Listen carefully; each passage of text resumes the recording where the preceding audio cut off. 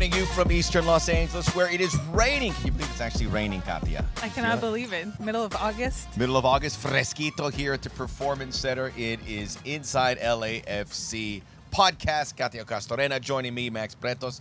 We got a big show. It's the day after a huge win over Real Salt Lake. LAFC move on into the Leagues Cup quarterfinals. We'll tell you all about it.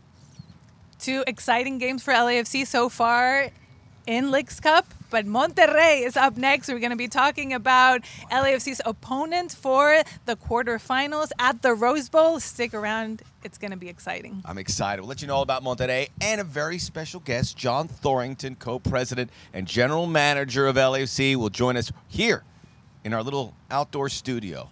Coming your way. Inside LAFC podcast starts right now. And we are off and rolling here on Inside LAFC podcast. Katia and Max looking back at another triumphant result for LAFC. We were curious about the Leagues Cup, Katia, about what could come out of it. And if it ends in the quarterfinals, and we'll preview the game against Monterrey, we'll talk to John Thorrington about that as well. We will preview, uh, if, if it doesn't go any further, you get to get healthy, you get some good games under your belt, and you get to see what you're capable of. Beating FC Juarez 7 1, beating Real Salt Lake 4 0, who were one of the, let's just phrase it this way going into Leagues Cup, I thought they were the hottest team in the Western Conference. You get to see what you look like when you flex your muscles because uh, th- those were no contests. And Real Salt Lake's a team they could play in the postseason. And if, if that's the way it looks, I don't think. Uh, if, if they can repeat that, I don't think these teams can run with LAFC. We'll see how it looks like certainly in November, December. They will most definitely not to mean any disrespect to what Juarez and RSL are doing. I do agree that RSL had been in a pretty good run and it's looking great. However, against Monterrey, it will be the toughest challenge that LAFC has faced thus far. Monterrey is a very good team. We're going to go more in depth against, I mean, about what this opponent means. But the good thing, because here on this podcast, we would say over and over again how the team was tired, fatigue after all those games before the All Star break 33 matches. It was a record for this club. They basically played an entire MLS regular season. That's what 34 games would be. In just half a year. So it was intense, and you can see it now. That was the question after the break, after having those days off where everybody could recharge, be with their families, not just physically, but like mentally. How would the team look? And hey, we've seen a, the team in great shape so far, scoring goals, seeing that joy again. So that's been great. That spark that is back. What you know, what we know and what we're used to from this team. We're holding our breaths, thinking like, what will it look like if they now? They're hey, you're gonna get your break. You're gonna get to uh, cambiar las pilas, as the uh, hit Menudo, the hit band Menudo back in the day used to sing. I had all their uh, their discos. Uh, they were able to pull it off. a mi moto. I, uh, exactly. That's the one that I know. Don't don't get me started. I know the whole songbook. but then we have uh, everyone getting healthy, and in a little bit we are going to break down what LAFC will look like when everyone is ready to go in the attack, the midfield, defense, and goalkeeping because it looks pretty good. But we did want to say, Team Security Paul has been nice enough to join us here. This is from the PR department. Katia, we know it's your birthday, and Oh we my want to get and they brought you a sack of delicious donuts, which I'm sure we will all be able to enjoy on here. Thank you.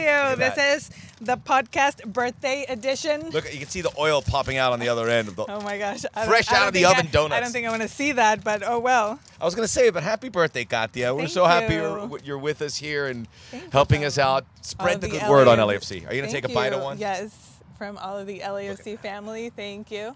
Uh, I'm going to make a wish and then take a bite. New tradition here at the Performance Center. She's wished for an MLS Cup. I know she did. I'll put this over here. really good. Thank you. Thank you. We should have done a little better with the wrapping.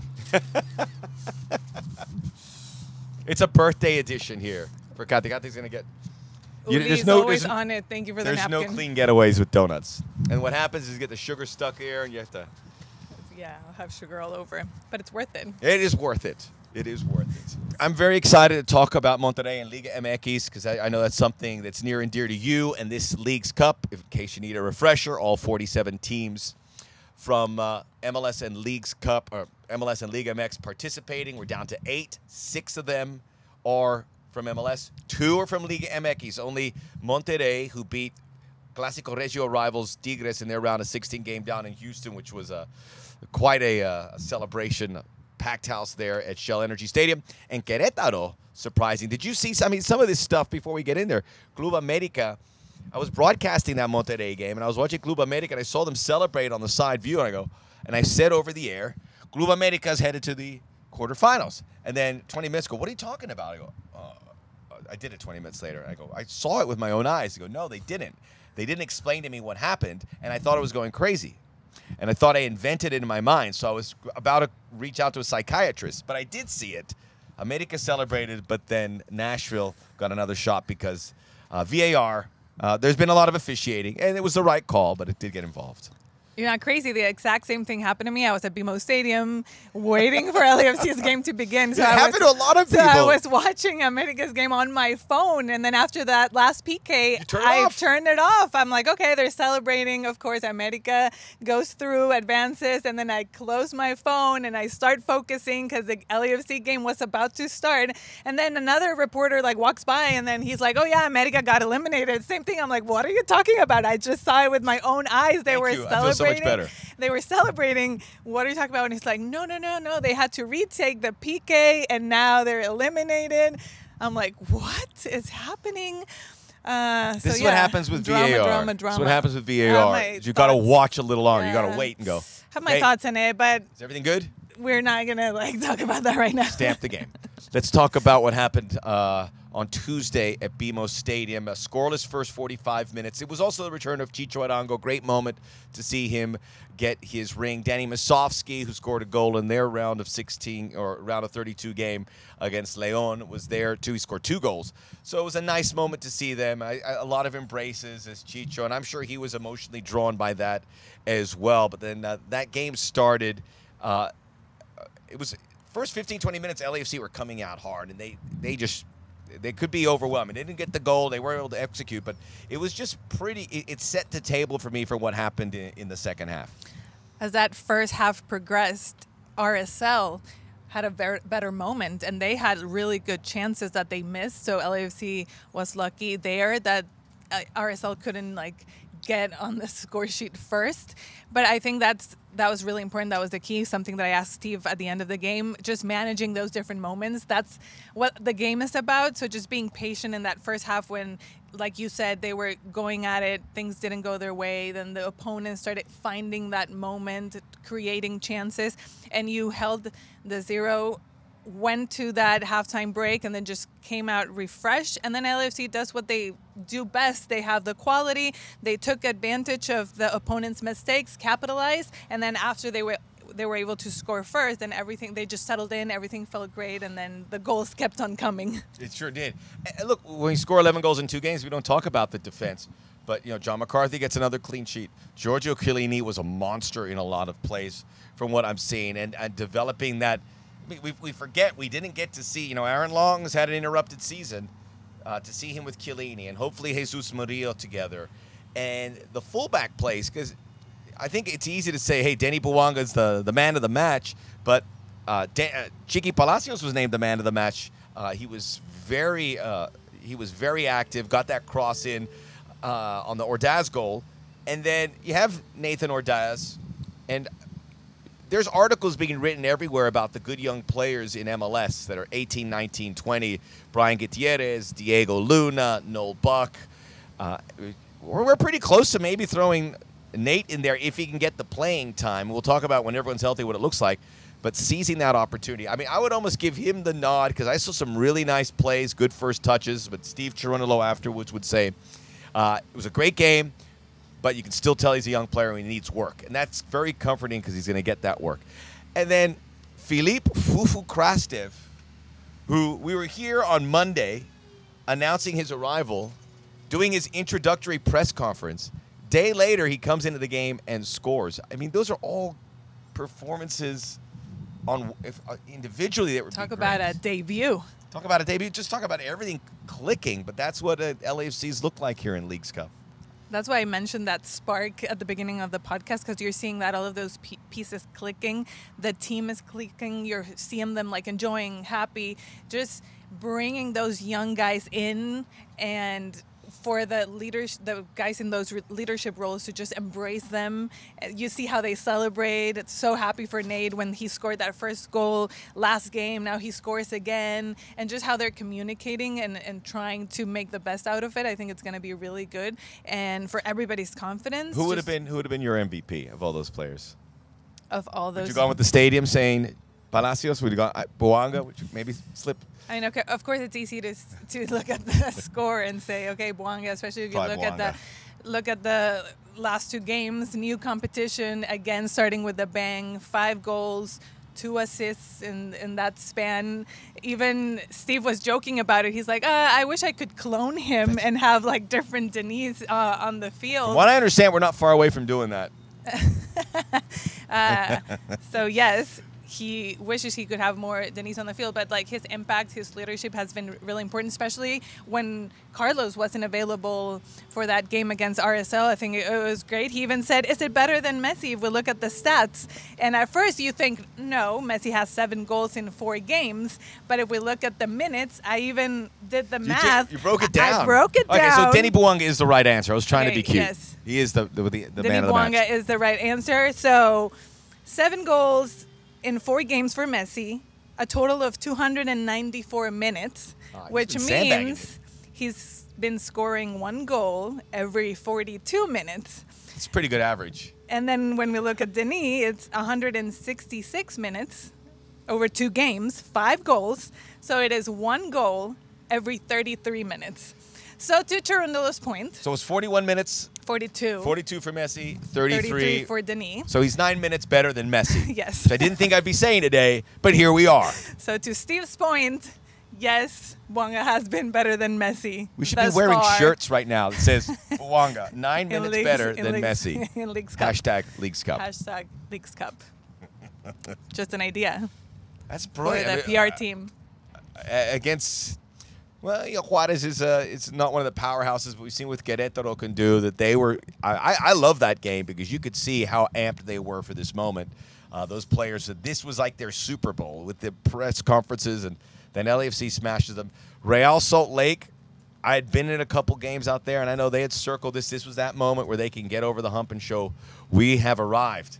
Got smashed as well, and it, it's a lot of things. And I, I want to because they look so much better, Gatti. I want to go through what LAFC, because Carlos Vela, after the game, we don't have any updates. Um, neither does Steve Cherundolo when asked about his status. Uh, Mario Gonzalez, um, we don't know about his status either, but they'll be there eventually. So I'm going to go. We'll, we'll look at the options and how difficult, because we remember in May and June, injuries, fixture congestion. You know, they had to find guys to play games, and so many different players, and we leaned into LAFC too, and had to be very creative. A lot of guys playing out of position, but with everyone in position, this is going to be a tough team to crack. So I'm going to go through uh, and, and tell you tell me what sticks out. So Vela, Buanga, Buke. Uh, we're going to leave Bogusz as a midfielder. Uh, Ordaz, and then Mario Gonzalez. Those are five options for three positions. Midfield would be Bogusz. This is in no particular order, obviously.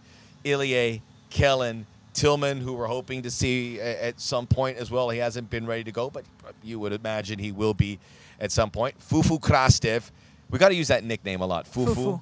He said we could, right? He greenlit that. Yuli, Joe, we got it. Fufu it is. Those are five, and, and even Eric Dueña, six guys who can get in that midfield. Defensively, Long, Chiellini, uh, Daniel Maldonado, uh, Jesus Murillo. So the four center backs, Hollingshead, Chiqui Palacio. Sergi Palencia has played these games. He is back as well. So you have cover there. And then Maxime Crepeau is back and John McCarthy. I know it's not going to be all perfect. I know I may have missed a name or two, and I apologize. But that is pretty daunting. Is there something you look as if you had to figure out a strength that might that might stick out there? The midfield is very powerful. been, that would have been my answer the too. The depth is important. We saw how important that depth was last year, especially this moment in time. And we're going to be able to talk to John Thorrington and, and go more in depth about it. But it was really important for them to fill those spaces after losing someone like Jose Cifuentes, Mahala. And just having that depth again, players that could come and contribute in like specific positions. And I know that everybody wanted to see sometimes like those big names like we saw during the last summer transfer window when all eyes were here at LAFC with Chiellini and Gareth Bale, and it's not like they didn't try. Uh, those I, I, those I forgot Cristian Olivera, Kike Olivera, the Olivera, yeah, I was about to say when it comes to that was the name I forgot, but we haven't seen him. another youngster There's big plans for him. signing that can come and, and contribute as well. So that that was important, and even though they might not be those big names that, that you're thinking of, of those elite players coming in from Europe that had important careers, these are young players, very talented, as we've seen, that have that experience and then and that can fit right in into LAFC's style of play, identity, and just personality overall. I, you, you hit it on the, the head there because, you know, when clubs are making seismic moves because players available, we've always talked to Steve Cherundolo and John Thorrington about they have their guys, they have a process, and they get their targets. And I think they got that here with not just Gonzalez, Krastev, but also Olivera. Very excited to see what those guys can contribute. Let's move on to the quarterfinals. Friday night at the Rose Bowl. Uh, get, get your tickets at LUC.com. It's a tough turnaround. And I know Monterrey's had it very difficult. They're down in Houston, and they're going to probably fly, and they're, they're probably in LA now, and they're going to get very little training. It's very difficult for these Liga MX teams. We are well aware of that. Uh, they're going to draw well. I don't know what it's going to look like with a short notice, but it's going to be obviously BMO Stadium is uh, occupied at the time, so it goes to the Rose Bowl. But uh, it almost feels like if you were going to use the Rose Bowl for a fixture, this would be kind of it. And this is the biggest game. All due respect to Lionel Messi, this is the biggest game of the tournament. You have the team that won MLS Cup. You have the team that finished first in the Clausura tournament, a team that has won a ton of trophies, mostly in the last 10 to 15 years. Uh, tell me a little bit, because you, you've been close to Liga MX and the role that Monterrey play uh, as they beat Tigres, their city rivals, the role that they play in, in Mexico. Because right now, they're holding the flag for the league. I mean, all the other teams, America, Chivas, Tigres, León, Toluca, Pumas, they're all back home. They're holding the flag. They're holding the Definitely. flag. Monterrey, one of the powerhouses of Liga MX. They have the capital. They invest. They heavily invest on signings, players. Even though there's always this debate about the teams from the capital in Mexico City, that history of like America, Cruz Azul, Pumas, and then in Guadalajara, of course, you have Chivas too. And now you look at what in Monterrey the teams have done there, especially in the past few years with Tigres and Rayados the signings that they've had and the trophies that they've won, but people still say like, oh, the, the only people that care about Tigres and. Monterrey are like in the Uh. north of Mexico. It's not like the tradition when we look at like Cruz Azul and America and so and so. So there's a debate always in Mexico, like, oh, nobody I- cares about those teams, but the, the I'm reality of surprised things. that, I mean, the big picture, they, I know that they haven't embraced that more because that's an exciting development that you have this epicenter of teams in Mexico City and Guadalajara. Then you have this powerhouse in the north in Monterrey, which is not too far from the U.S. border. You can get there 400 miles to Texas or. I don't know why they haven't embraced that more. I'm sure they have, but that's the perception we keep hearing. Yes, it's a thing in, in a Mexico. thing. It is. There's like the way also the fan bases fight over like what team is more relevant and like what team's more popular, uh, just rating wise, and who are you gonna watch? Things like that about like El Clásico Nacional when it's like America against Chivas, and then El Clásico Regio when it's Monterrey against Tigres, and it's always like, oh, nobody cares about El Clásico Regio, only people in Monterrey. So, I mean, just the fun stuff. But looking at the roster, looking at the team that they have, it's a great team to be holding the flag for Liga MX because they're a dangerous opponent. They have so much talent in every line. Now that attack with Funes Mori and Canales that just signed left Spain to come to Monterrey. He's the one that scored the PK against Tigres to Big money move. Yes, to make it so that the, the team could make it to the next round. Then you ha- you have players that have so much experience on defense, midfield, the creation, and then LAFC. It's going to be a challenge for LAFC because it's a different team than what they faced and what they regularly faced in MLS. So it's a team that knows how to defend really well, that knows how just to be patient, waiting in the back, counter attack. So LAFC likes to have those plays in open space. Monterrey, they're gonna grind, they're gonna fight, they're not gonna give you a lot of space. So that's gonna be something important and a challenge for sure. Uh, they have old man Hector Moreno back there. Yes. Who, uh, played Moreno, three World Cups. Don Estefan Medina, Gallardo. I, I did the game. I like that Medina a lot. Very He's athletic. It felt like Moreno was the he can old be dog a center there. back. He And can be a Medina. fullback. They're not going to make mistakes, and we've seen that. Uh, and well, Steve Cherundolo, I think was your question after the game. I think he hit, he nailed that team as well. He goes, the thing about them is they don't have any weaknesses, so you don't sit there and go, okay, Rogelio Funes Mori's a great player. He's not going to scare too many people. Canales maybe a little bit more. Uh, they lost Germán Berterame, who had scored five goals, just like. Uh, uh, uh, so he is out. That's a big loss, but it didn't affect them as they got by Tigres. Um, they can adapt, and it's like a, you look at the roster, good, good, but that together, very there is no weaknesses. So Steve uh, has already done his homework on this one. Yes, and one of the things about Monterrey and the issues that they've had with other coaches was also like that defensive style. And because of the talent that they have, they wanted to see a team that would go forward more, that would create more opportunities. And that's what they were looking for with Tano Ortiz signing. Tano Ortiz, of course, that used to be with America. He faced LAFC as America's coach. There was a little bit of controversy as well during that press conference. Remember that summer showing at SoFi Stadium last year? And I asked Dan Ortiz about, well, facing LAFC right now, the, the signings that they've had, just what does it mean? And then he, I mean, dismissed it a little bit, saying like, "Oh, I don't know much about the team. I just focus." You know, like he didn't know much about. LAFC at the moment. he was just focusing on his team. I get it. He has to. Did you coach- believe him? Did you believe him? I don't him back know. then? I don't know if it was just like a PR stunt or like I, maybe he genuinely didn't know, and then they Yeah, had him like briefed. that- Yeah, it was a friendly, and they had it briefed him about the team at the time. Could be, but I'm sure he does know now, and it will be a completely different thing in preparation for this upcoming match. Yeah, a lot of folks in Liga, the, the Liga MX supporters are are angry. They're saying it's it's been tilted towards Messi, and then the officiating hasn't been up to stuff well, and the travel, and you know. Welcome to MLS, guys. This is, I can tell you three or four times LAFC been stuck in an airport, uh, not being able to get to their destination. But you don't hear about it because that's kind of commonplace. Although, uh, all due respect, because Liga MX play teams have done, uh, have done, ver- have had to challenge this, and I, I, I, don't know if this will make them when we have Leagues Cup next year, how they're going to approach it. I mean, how does how does it taste of what it was like in the U.S.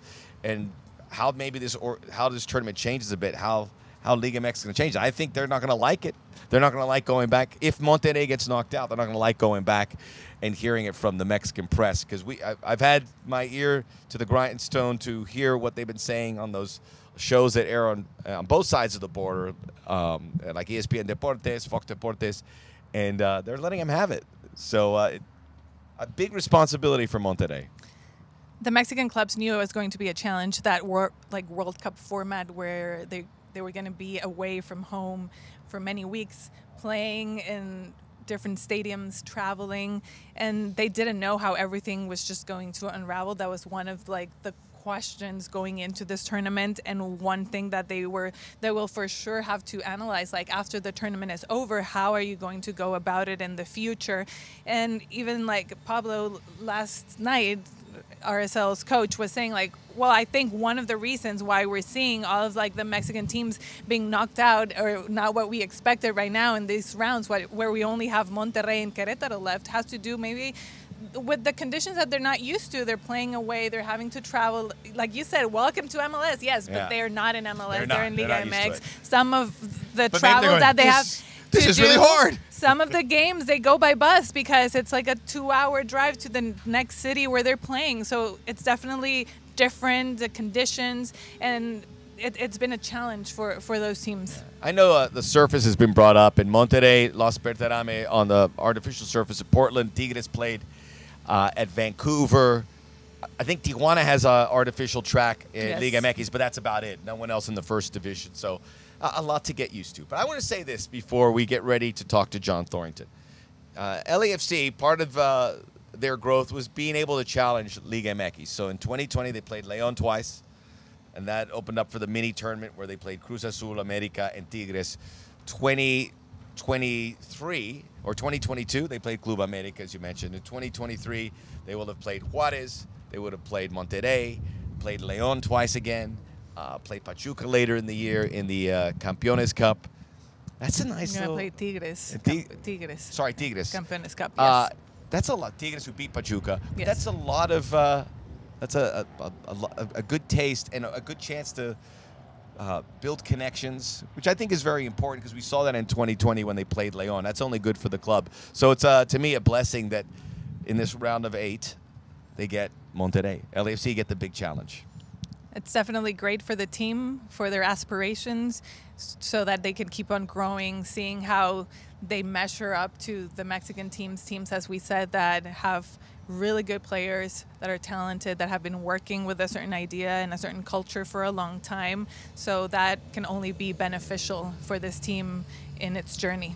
We'll see it. Very excited. Friday night, get out to the Rose Bowl to check out LAFC in Monterrey. It is a big time fixture, maybe the biggest one in Leagues Cup. When we return, we're going to talk to the man in charge, general manager, co-president of LAFC, John Thorrington. We'll talk about the game against Real Salt Lake, playing in Leagues Cup, and how this roster projects for the rest of 2023 inside LAFC with the birthday girl, Katia Castorena, Max Bretos. Rate, review, download, subscribe, and tell a friend. John Thorrington, a regular here on Inside LAFC podcast, co-president and general manager, joins us. Always good to have you, though. Pleasure to be here. We hit the reset button and we'll we'll, we'll talk. I, I, I just want to because we we've seen these two games of the Leagues Cup and we'll talk about a few things that are affecting the club and how it moves forward.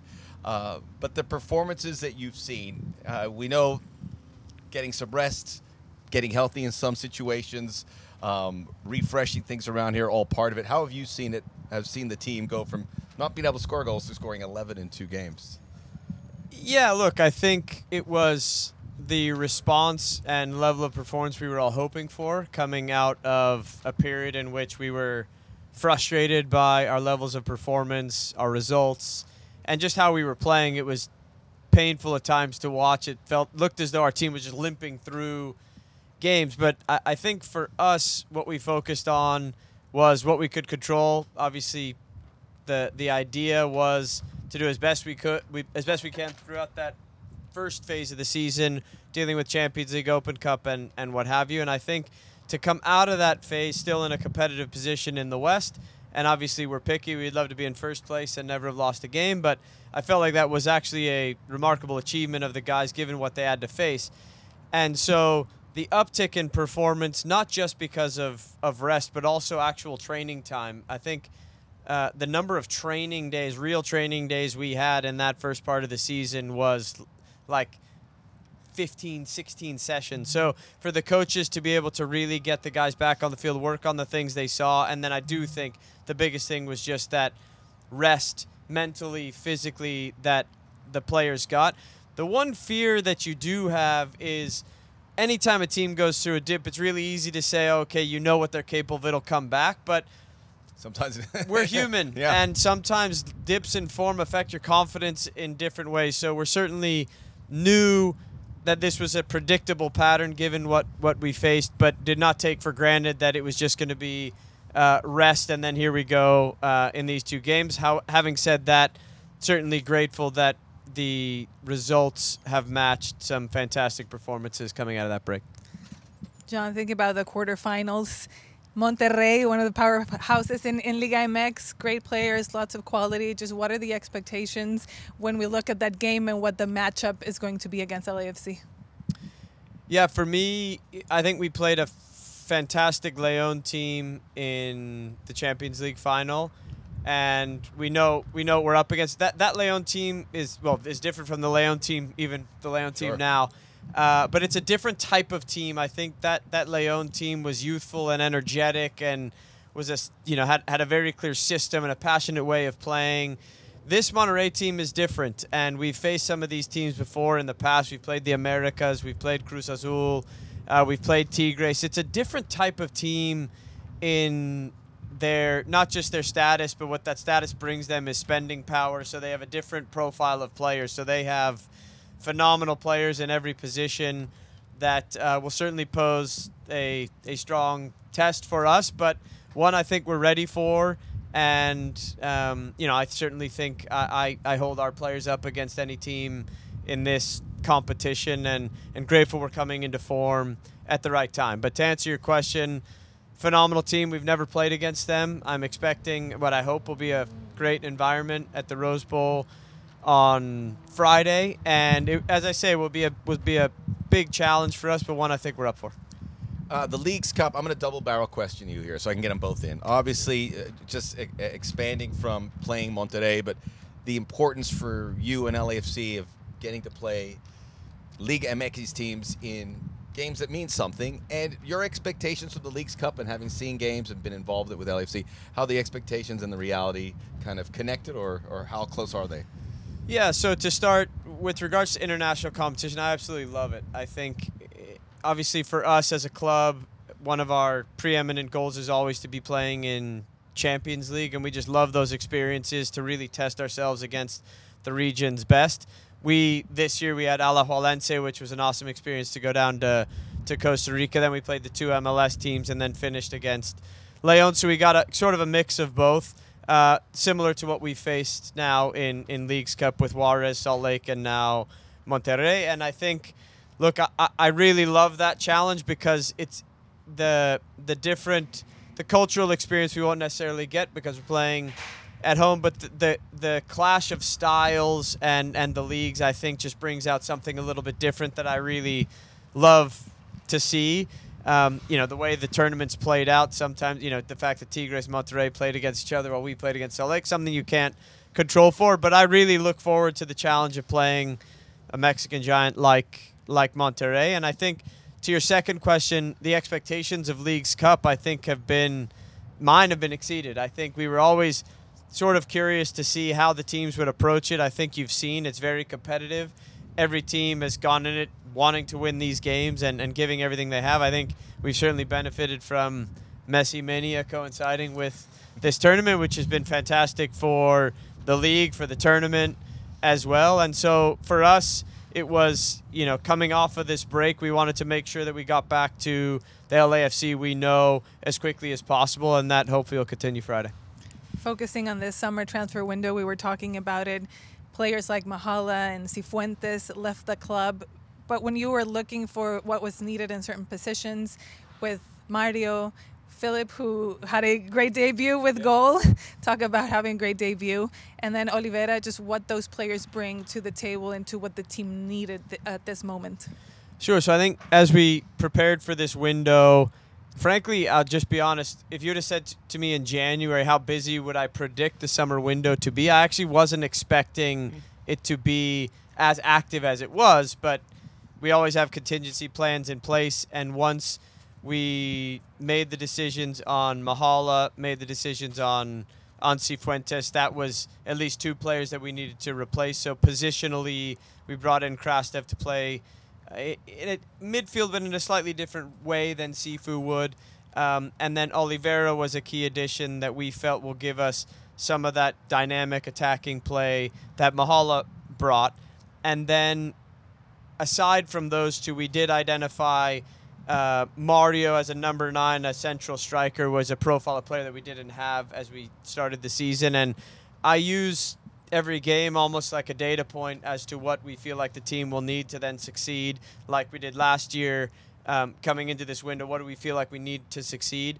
That was slightly different. I think we were in first place, and I think people it raised some eyebrows the amount of activity. But we, as a staff, felt look, this team is doing great, but it still needed a bit more to then succeed. When you make changes, sometimes you have a bit of turbulence as you start, but we were confident and convicted that that was what was needed to succeed last year, and that process was similar as we went into this window.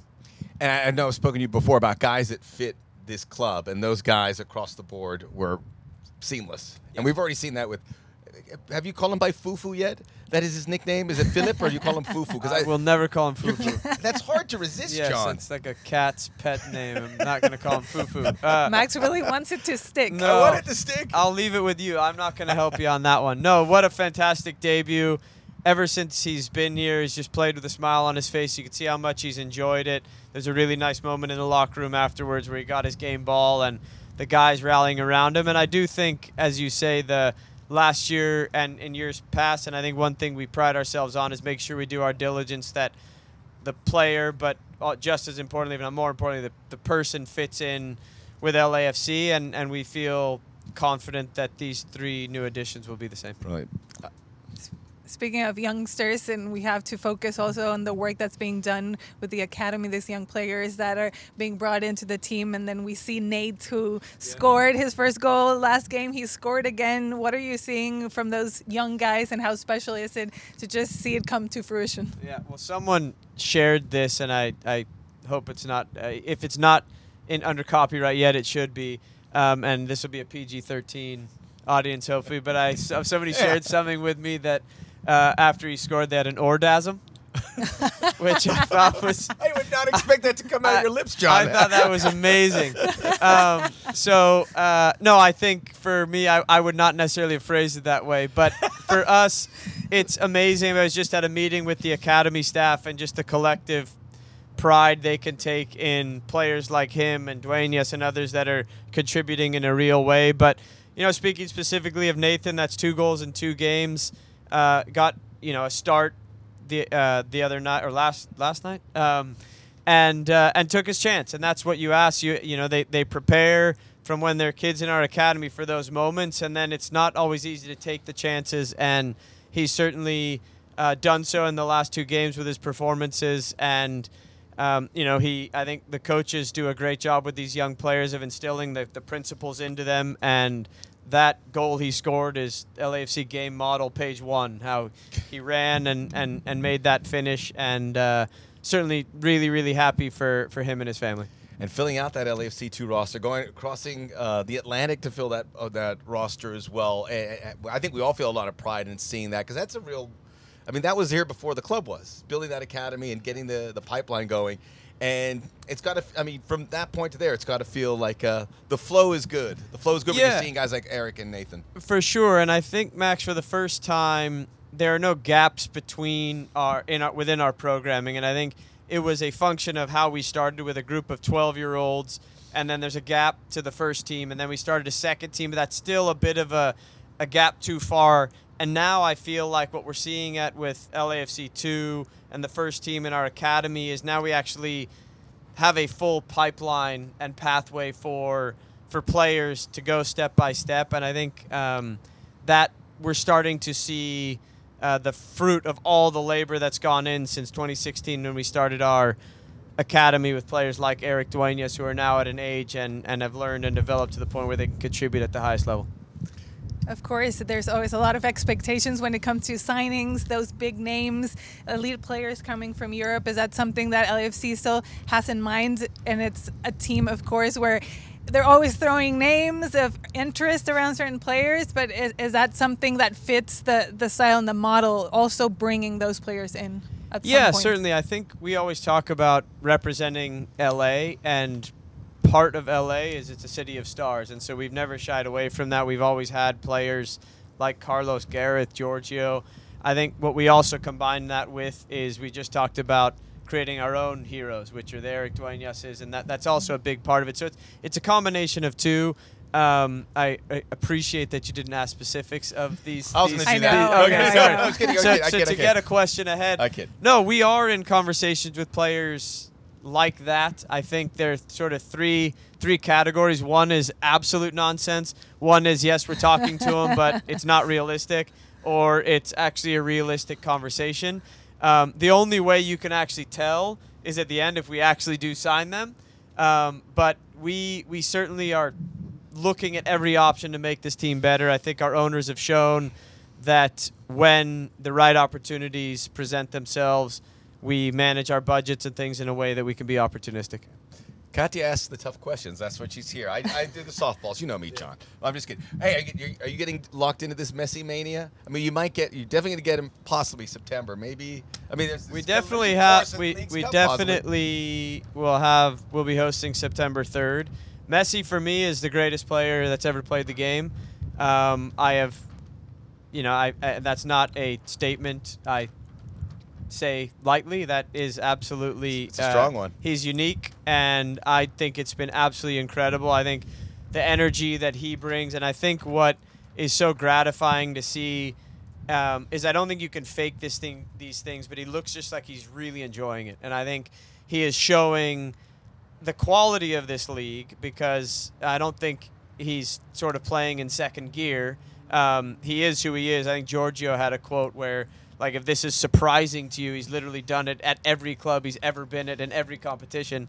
Um, but I think it's amazing for the league and the energy he's brought, and I think he is showing and opening people's eyes around the world to what this league is and the the level of competition that you can have the environments that we have in our stadiums and, and really showing how far this league has come that we can handle a player like him. Fantastic. Uh, I, I, agree with you. It's been an, it, the immersion has been immediate, and we're seeing what he's capable of. And maybe there is a Leagues Cup final. They're on the opposite sides of the bracket, but they're only two wins away from possibly doing that. John, we always appreciate you hitting us with your knowledge and joining us here on the podcast. Always a pleasure. All right, Thank Katia, you. as always, it's her birthday too. So we're Happy wishing. birthday. she's Thank on- you. She's on her I way. don't know whether you the saw the 98th birthday celebration that was at the Yes, stadium at the stadium, night. I saw That's it. my wife's grandpa. Oh, that's so nice. Give us her, give him, uh, uh, give him her It's- best, please. It's Papa Bill. He turned 98 Papa Bill, happy birthday. Yes. Fellow Leo. We're happy. It's just a happy, happy birthday edition of Inside LAFC. We'd like to thank John Thorrington for Katia and Max Inside LAFC podcast. Get it where you get all your podcasts. Rate, review, download, subscribe, tell a friend. We'll see you again with a complete wrap up of the Leagues Cup quarterfinal matchup from the Rose Bowl.